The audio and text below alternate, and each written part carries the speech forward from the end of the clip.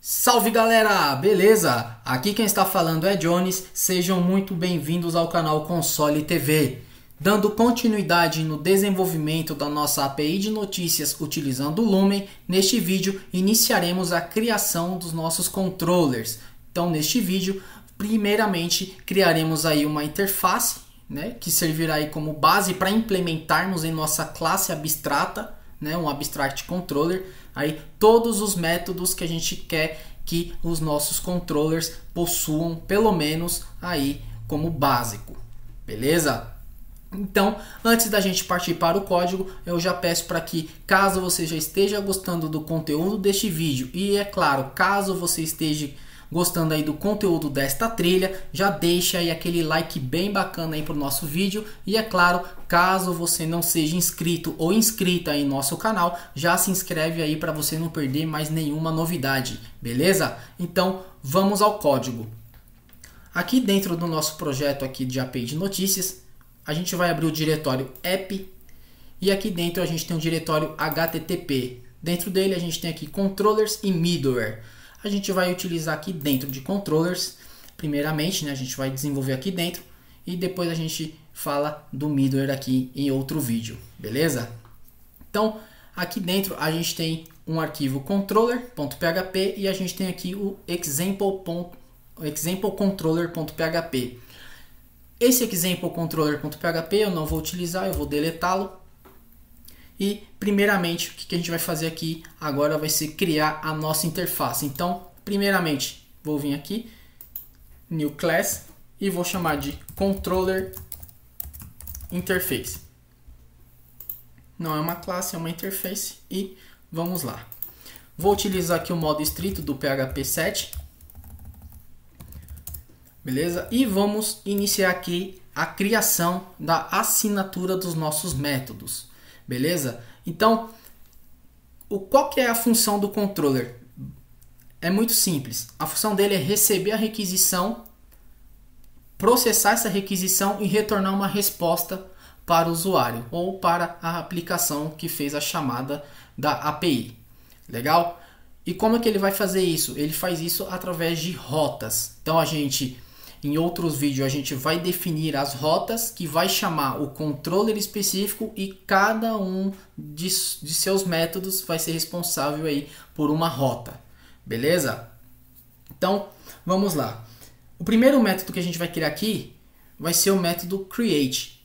Igual a gente fez com o repository interface e também com o service interface. Porém, a assinatura será diferente. Então, vamos lá. Então, public function create. O parâmetro que a gente vai passar aqui, em vez de ser um array de dados, a gente vai passar aqui um, um objeto request. E esse objeto request, ele é da classe aqui do pacote Illuminate HTTP. Beleza? Que já é do Laravel. Bacana. E esse método vai retornar para a gente um JSON response. Que também é um, uma classe do pacote Illuminate HTTP. Legal? Então, somente isso aqui e a assinatura do nosso método create já está definida. Agora a gente precisa criar a assinatura do nosso método findAll, que vai ser responsável por buscar todos os dados. Beleza? Então, public function findAll. Assim como create, findAll também vai receber aqui um request e vai retornar para a gente um JSON response. Beleza? Também já está definido aqui o nosso método findAll. Agora a gente precisa definir o método para buscar apenas um registro, né? um registro por ID. E agora esse método é o findOneBy. Qual que vai ser a assinatura dele? Também é bem semelhante. Então findOneBy Vamos passar aqui o objeto request e vamos passar o segundo parâmetro, que vai ser um inteiro, que é o ID. Ele vai retornar para a gente um JSON response. Beleza? Esse parâmetro ID, ele é o parâmetro que a gente vai definir lá na, na rota quando a gente for criar. Então, lá no momento que a gente estiver criando a rota do find one by, a gente vai falar para ele que a gente espera um parâmetro ID, tá? Com o mesmo nome. Então, lá a gente vai chamar de ID, então aqui a gente está buscando já o ID. Legal? Show de bola. Agora vamos definir aqui o nosso método editBy. O editBy, ele também é semelhante. Então, editBy, ele vai receber aqui o parâmetro request e também vai receber um parâmetro aqui, só que não vai ser do tipo inteiro, nesse caso vai ser um string que vai se chamar param. Tá? Por que isso? Ele pode receber tanto um parâmetro do tipo inteiro, no caso um ID, quanto a gente pode também buscar pelo slug, digamos aí uma notícia, por exemplo. Tá? Então, esse parâmetro ele pode receber aqui um, um numérico, né? pode receber aí um valor numérico, como um, um, um ID, como também pode receber um, um texto, né? uma string. É, e essa string pode ser o slug. O que, que é o slug? Se você não se lembra o que é, imagine que a gente tem aqui título da notícia. Então, o slug seria isso aqui, ó. Título, hífen da hífen notícia. Esta nomenclatura aqui que a gente tem, né, que você vê por aí nas URLs, quando você acessa algum artigo, alguma notícia, é chamada de slug. Beleza? Então é isso que a gente pode fazer aqui. Bacana. Agora a gente precisa de mais um método. E qual que é esse método? É o delete. Então, public function delete e ele vai ter a mesma assinatura que o find one by. Então, request e vai ter aqui também o ID e vai retornar para a gente um JSON response. É simples assim. Então, com isso aqui a gente já tem é, um método para inserir um, um registro no banco de dados, buscar todos os registros, buscar apenas um registro, editar um registro por ID ou por slug, né, ou por outro campo que a gente queira futuramente, e deletar um registro por ID. Legal, acho que com isso aqui já é uma assinatura bem interessante para a gente trabalhar aí nossos controllers. Legal? Então, show de bola. A gente já definiu aqui nosso, nossa interface e agora a gente vai mexer aqui com o nosso controller. A primeira coisa que a gente vai fazer aqui é renomear esta classe. Eu vou chamar ela de Abstract Controller. Vou pedir para renomear também a classe e não só o arquivo. Então tá aqui. Vou utilizar o modo estrito do PHP 7 novamente. E a primeira coisa que a gente vai fazer aqui vai ser implementar a nossa controller interface.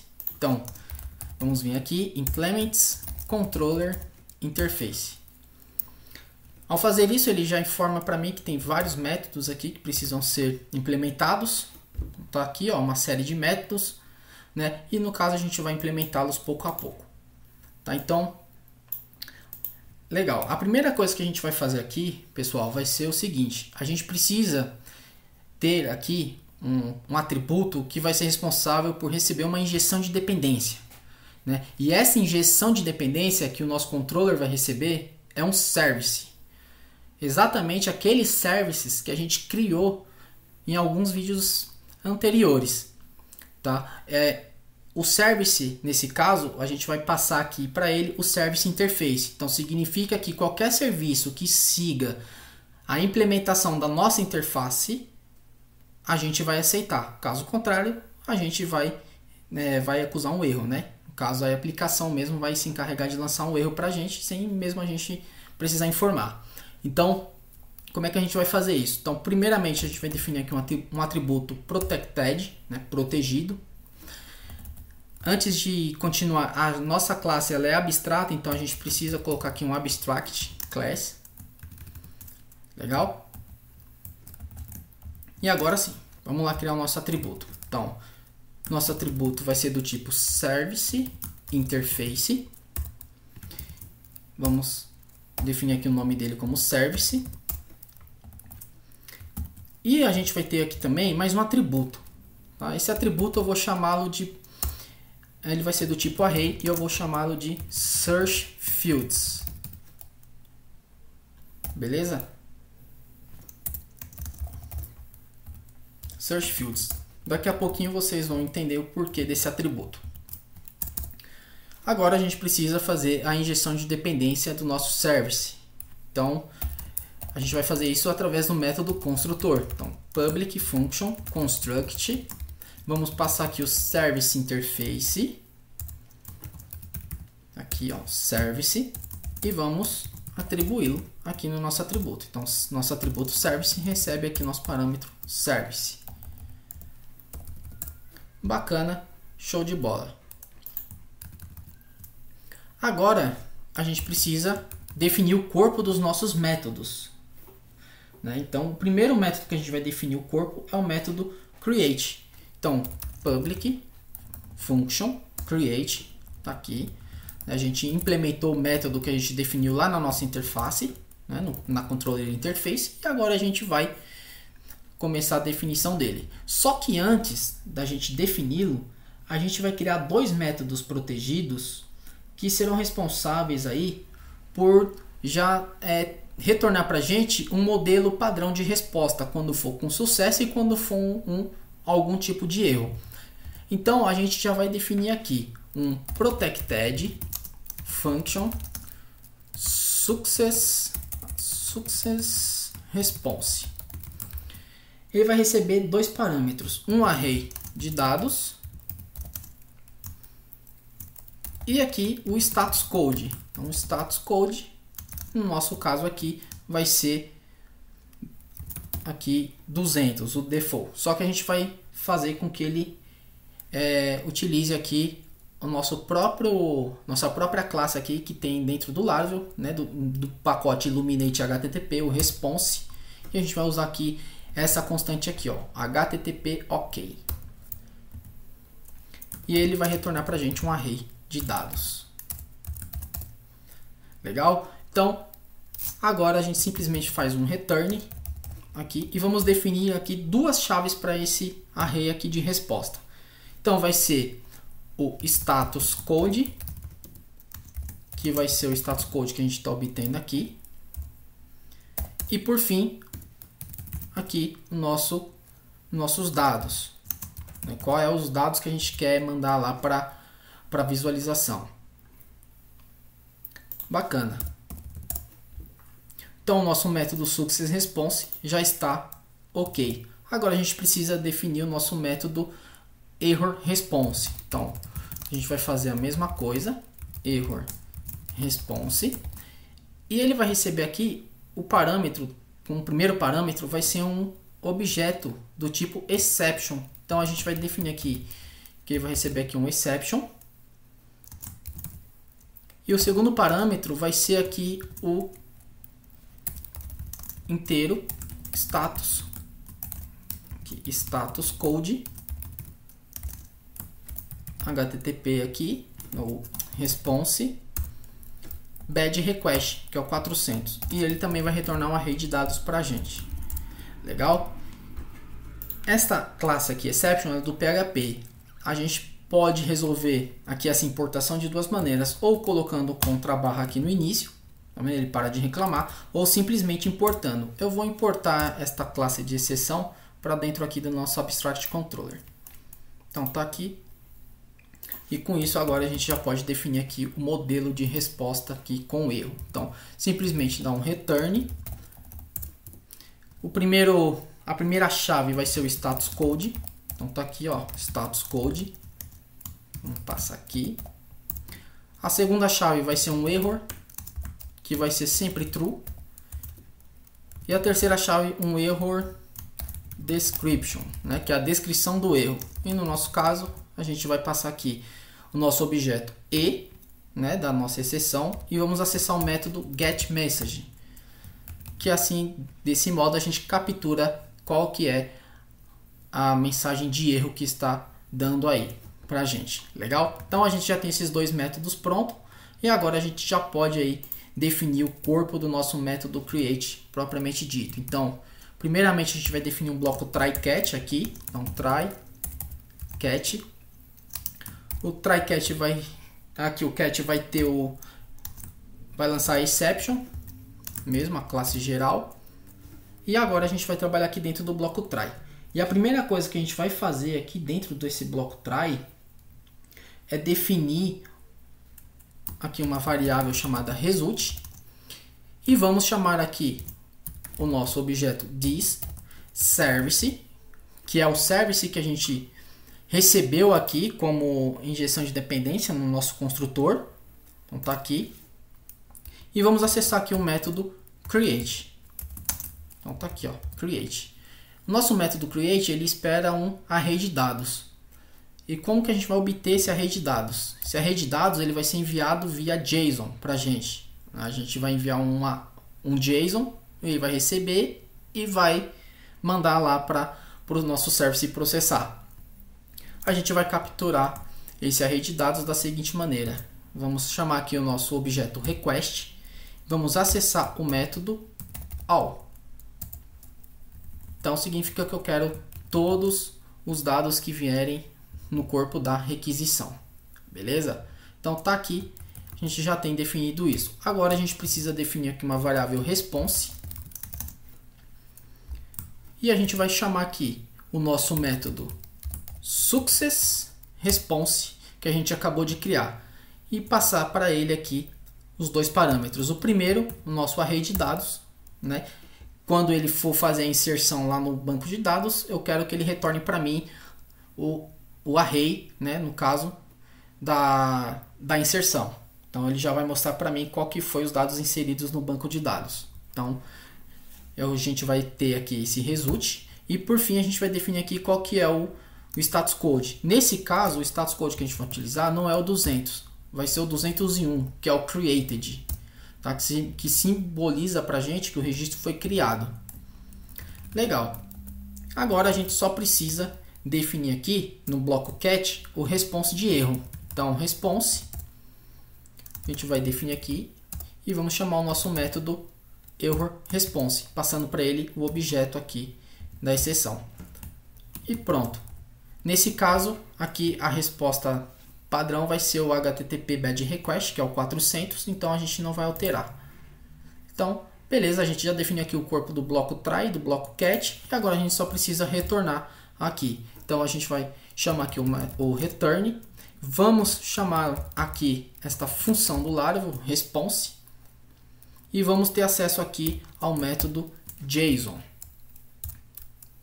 Esse método JSON aqui, ele espera aqui dois é, ele espera aqui quatro parâmetros, mas a gente vai passar apenas dois parâmetros, que vai ser o array de dados, que no caso é o response, e o segundo parâmetro vai ser o status code. No nosso caso, como a gente já tem definido um modelo né, padrão aqui de resposta, então a gente simplesmente vai fazer o seguinte: response status code.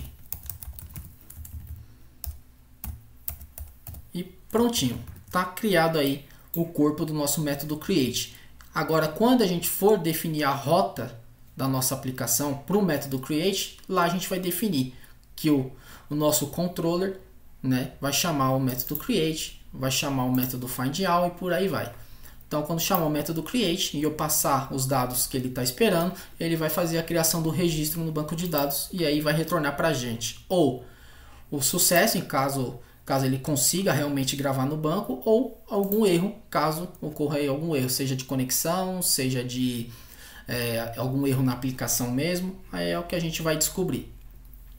Legal, agora a gente pode definir o corpo do nosso método findAll. O método findAll ele é um pouco diferente, ele é um pouco mais complexo. Tá? Então, por que, que eu falo isso? Você vai ver daqui a pouquinho. Vamos lá, public function, tá aqui o nosso método findAll. Implementei ele, tá aqui. E agora a gente vai simplesmente definir aqui o nosso bloco try-catch. Então tá aqui, try-catch, o exception e aqui nossa variável de exceção. Legal. O findAll ele espera alguns parâmetros. Então vamos ver quais são os parâmetros que o nosso método find do nosso serviço, espera. Vamos criar aqui uma variável result. Vamos chamar aqui o nosso service e vamos ter acesso ao método find all. Então o find all ele espera dois parâmetros, um limit do tipo inteiro e um order by do tipo array. Beleza? Então a gente precisa informar esses dois parâmetros aqui. E como é que a gente vai fazer isso? A primeira coisa a ser feita é criar aqui um, uma variável limit que vai fazer um cache aqui para inteiro e a gente vai chamar aqui o nosso objeto request método get que significa que a gente vai pegar o parâmetro que a gente passar lá no query string. Então tá aqui. E o nome desse parâmetro vai ser um limit. Beleza? Então peguei o limit lá. Vamos supor que eu passei o limite de 5 ele vem como string, faça a conversão para inteiro e armazena na variável. Legal. Agora a gente vai fazer a mesma coisa para o order by. Então, order by. Vamos chamar aqui o request. Vamos passar aqui o get, né? chamar o método get e vamos chamar aqui qual que é né? o parâmetro que a gente quer acessar. Que no caso é o order by. Caso ele não, não informe, então ele vai passar um array vazio. E nesse caso aqui, caso ele não, não informe o limite, o valor que ele vai passar padrão aqui vai ser de 10. Legal? Então, feito isso, a gente simplesmente vai fazer o seguinte, vamos passar o limite como primeiro parâmetro aqui do nosso método findAll e vamos passar aqui o segundo parâmetro que é o order by. E por fim a gente vai chamar aqui o response. Então, vamos definir aqui o nosso response. Caso de sucesso é o success response. E vamos passar aqui para ele o result. E no nosso caso, aqui, ele vai passar é, o HTTP, o status HTTP dele não vai ser o 200 e nem o 201. Nesse caso vai ser o 206, que é o partial content. E eu já vou explicar o motivo disso. Beleza? E agora vamos definir aqui o bloco catch, que é o response. Vai chamar aqui o error response, passando aqui apenas o objeto de exceção. E por fim vamos retornar aqui, return response, chamando aqui o JSON, né, o nosso método JSON, passando aqui para ele o response, que é o array de dados, e por fim o status code que a gente quer que ele assuma aqui. Então, status code. Prontinho. Por que, que aqui eu passei como partial content? Vamos supor que eu tenha 100 registros no meu banco de dados. E vamos dizer que eu estou limitando a 10. Então significa que de 100 registros eu vou retornar apenas 10 registros por página.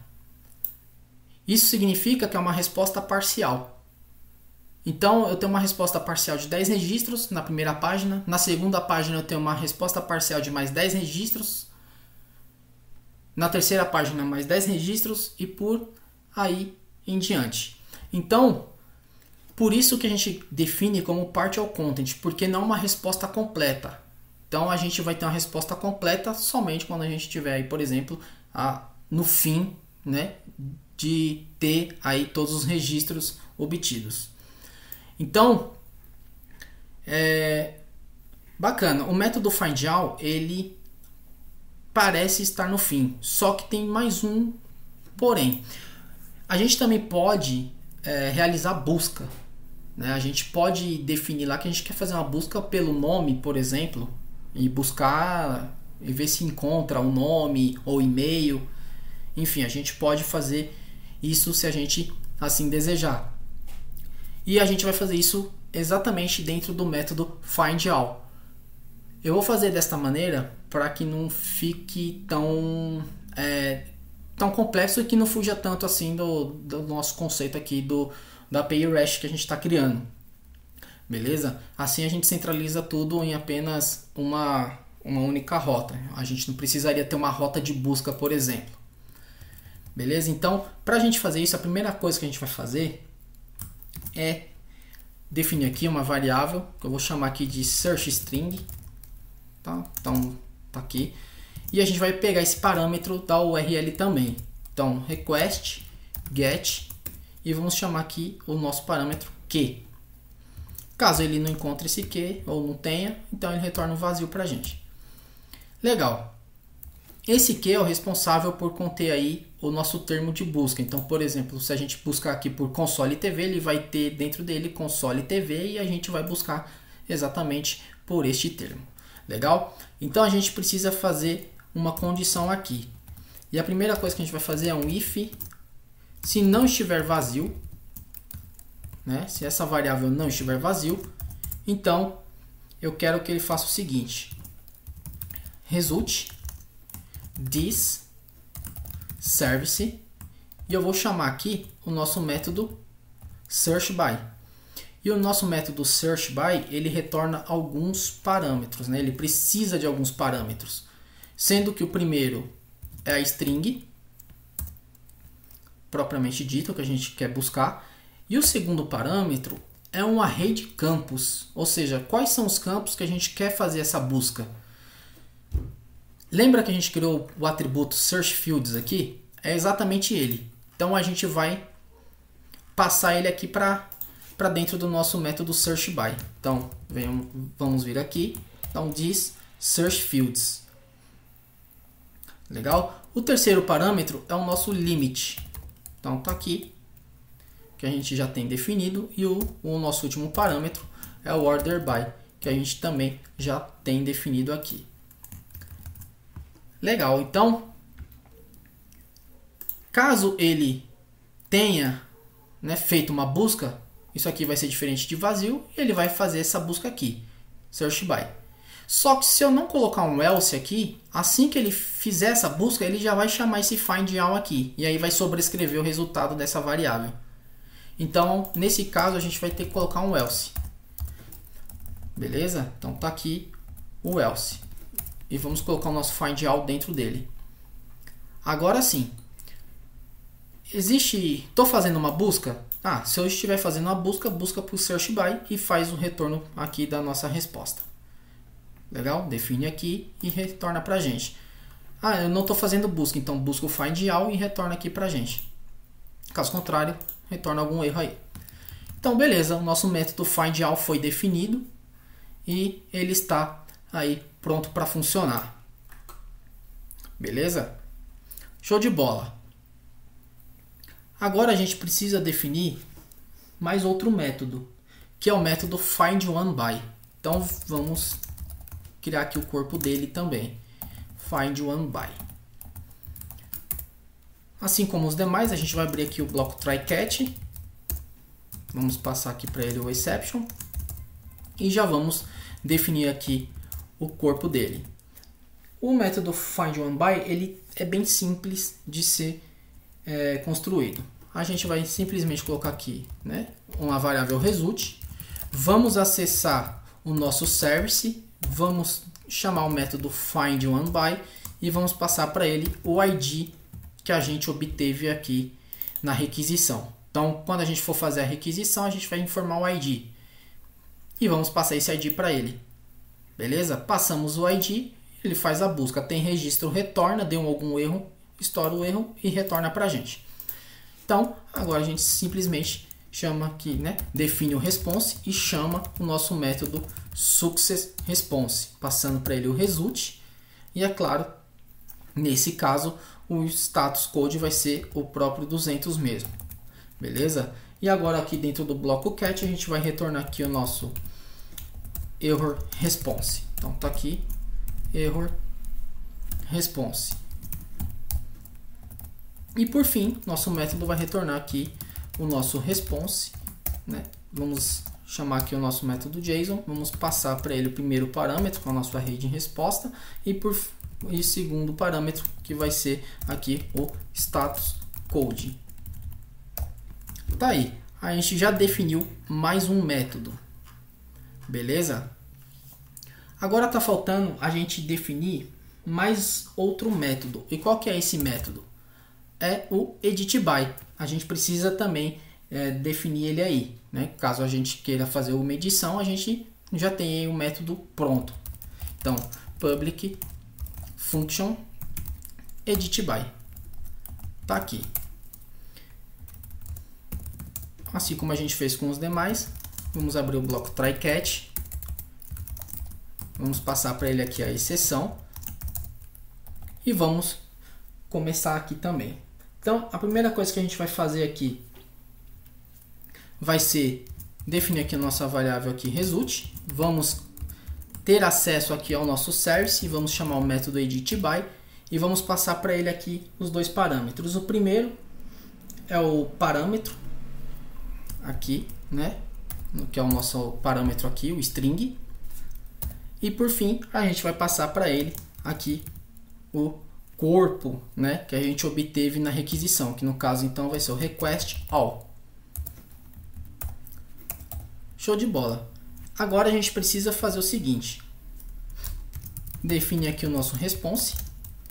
This success response. Vamos passar aqui o result e vamos passar aqui o status code, que no caso vai ser 200 mesmo.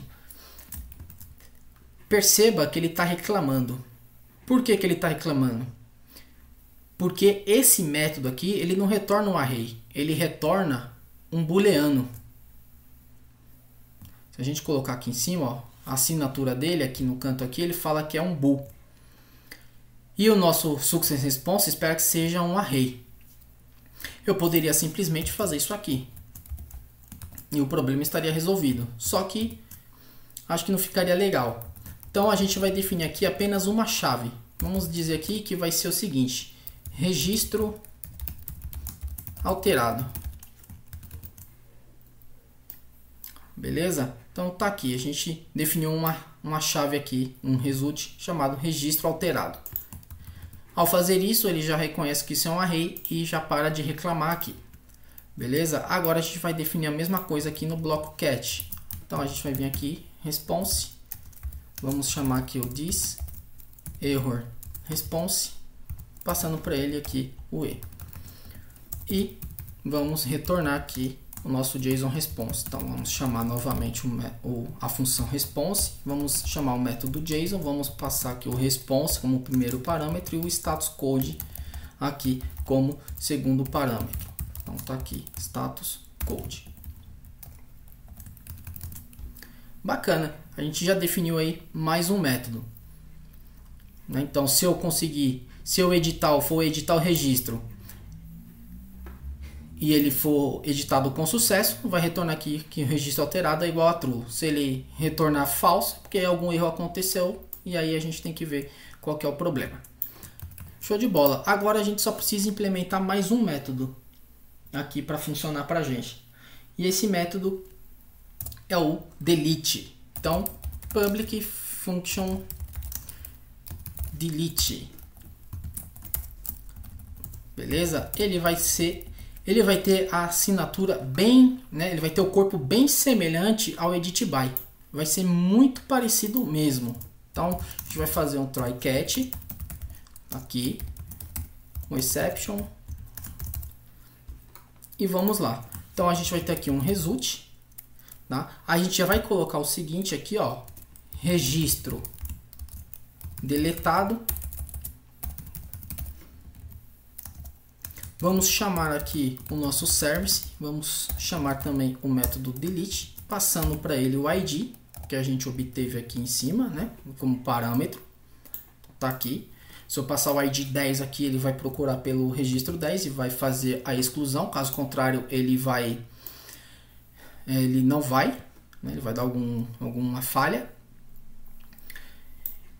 E então, feito isso, é só a gente fazer o que? Response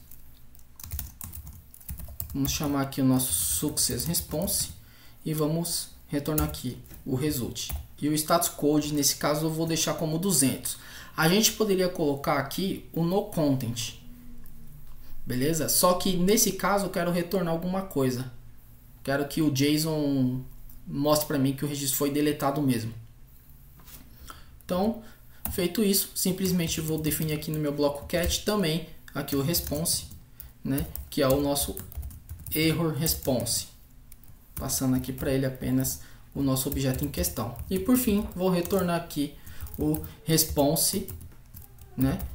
Aqui e vou acessar o JSON, nosso método JSON, e aí, por fim, vou passar aqui o array de dados, né, de resposta, e vou chamar aqui o nossa status code aqui, nossa chave status code, que está dentro do nosso array de resposta. Legal? Então, com isso a gente definiu aí o método para excluir e, consequentemente, a gente acabou definindo aí toda a estrutura do nosso Abstract Controller.